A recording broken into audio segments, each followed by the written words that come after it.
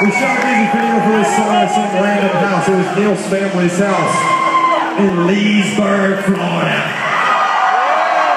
Represents that. This song's called Right Where You Want Me to Be.